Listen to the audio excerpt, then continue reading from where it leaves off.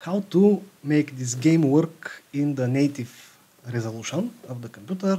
The game is old, uh, it's a square screen, but it uh, can use the native resolution of uh, wider uh, screens. Okay, what uh, now uh, I wanted to mention that it is possible to run the game in windowed mode, but with third-party programs. So the easiest way is to find the ini file of Alpha Centauri. It is in the where you have installed the game. It also works on the GOG version. So just find Alpha Centauri ini and I will open it with Notepad and there is the lines and you need to add this thing direct draw equals 0 I will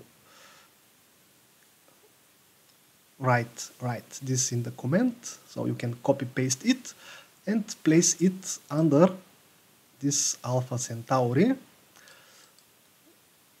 text with the brackets.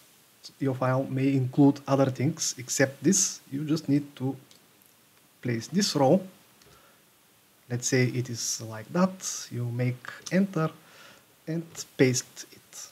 All right i will alt s.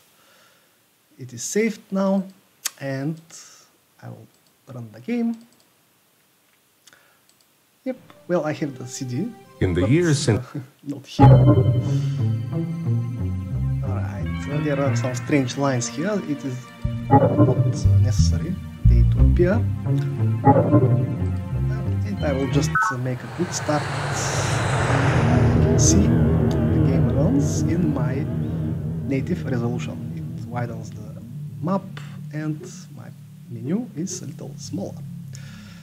So this is how to make Alpha Centauri and Alien Crossfire in window mode or in the native resolution more correctly. So this is for now and greetings from the past. So if someone watch this, it will be in the future, right? All right.